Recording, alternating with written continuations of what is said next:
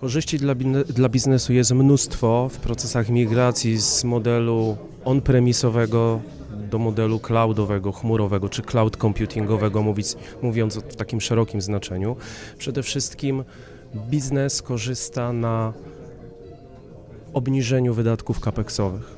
Czyli przesunięcie finansowania z CAPEX-u na OPEX jest ewidentnym atutem przenoszenia do chmury. Drugi element to jest elastyczność, czyli powolutku odcinanie się od y, tych zmartwień związanych z zasobami, których nie daj Boże może w pewnym momencie zabraknąć. Szczególnie odczuwa to sektor e-commerce'owy, gdzie ten e-sklep jednak cały czas idzie do przodu, ten rynek rośnie, rośnie, 40 miliardów złotych rynku robi robotę, a będzie tego najprawdopodobniej jeszcze więcej. No i trzeci element, myślę bardzo ważny, to wysoka dostępność usług.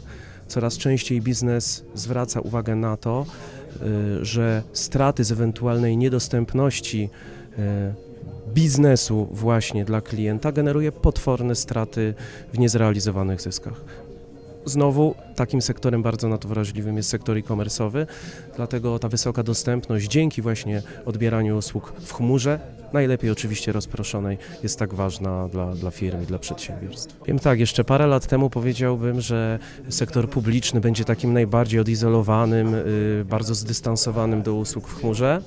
Patrząc na to, co się dzieje ostatnimi laty, tak nie jest. Czyli jeżeli nawet sektor publiczny decyduje się na przenoszenie swoich danych do chmury. Oczywiście trzeba zrobić to w rozsądny, bezpieczny sposób.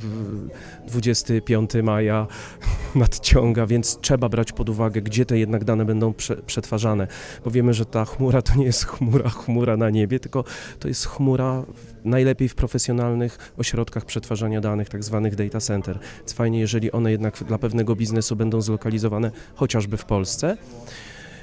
Więc w związku z tym wydaje mi się, że nie ma ograniczeń. Są oczywiście sektory bardziej y, podatne, bardziej takie ukierunkowane na chmurę obliczeniową i robią to szybciej, podejmują te decyzje szybciej.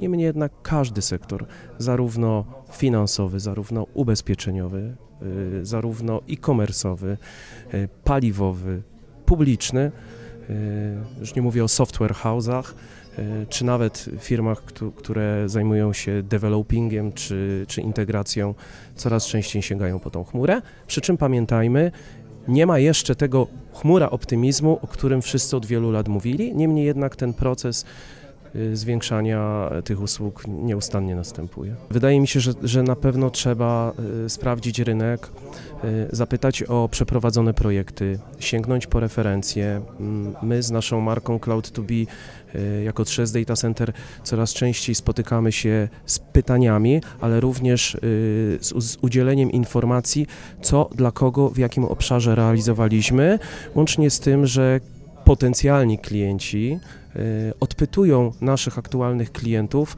o to, czy te rozwiązania były dobrze przeprowadzone. Ja się strasznie cieszę, że, że dzisiaj po tych siedmiu latach istnienia na rynku w branży właśnie chmurowo-data centrowej, to już jest szmat czasu, bo 2011 rok jak zaczynaliśmy, to no to tam chmura jest dopiero raczkowała. E, ci klienci cały czas się z nami rozwijają i nie mamy problemu z tym, żeby gdzieś rekomendowali nawet nasze usługi e, właśnie innym potencjalnym, jeszcze zastanawiającym się klientom. Ale na pewno sprawdzenie dostawcy, sprawdzenie rozwiązań, sprawdzenie technologii, no i dobranie takiego partnera, który będzie umiał dopasować swoje możliwości usługi do potrzeb klienta, ponieważ każdy klient, i teraz to już wiem bardzo wyraźnie, jest inny. My praktycznie nie mamy dwóch identycznych wdrożeń. Zawsze są jakieś elementy, które różnią te potencjalne potrzeby u klientów.